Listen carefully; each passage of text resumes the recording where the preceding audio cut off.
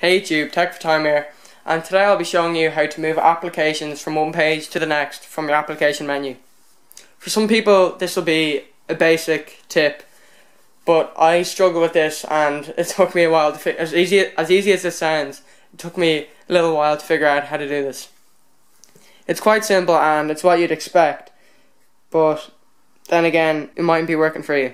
You don't have to do anything with the view type, just leave it as you want it as your customizable grid. Firstly, you open up the menu and then click edit to edit the apps on the page. Click and hold on any app you want and keep holding that. You then bring it to the side of the page and this is where I had the problem. I presumed if I bring it to the side of the page it will go to the next one, but it doesn't. Bring it over, it doesn't work. But if you bring it over really far, as far as you can, you'll see a blue line and then the page will start moving. I have a case on my phone and it is slightly hard with the case there to get to the very edge of the screen. But if you just keep pushing the very edge, a blue line will appear on the side. You can then move to the next page and drop your app where you want it. There is also an easier method to do this, and this utilizes some of the Galaxy S4's many features. Firstly, you want to open your settings. Go to My Device on the top and scroll down until you see Motions and Gesture.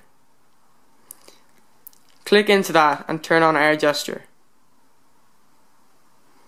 Go into Air Gesture and make sure you have Air Move selected. Go back to your application screen and find any application you want to move. Once again, click and hold on the application, but this time instead of bringing the app to the side of the screen, just wave your hand in front of the front and the pages will move.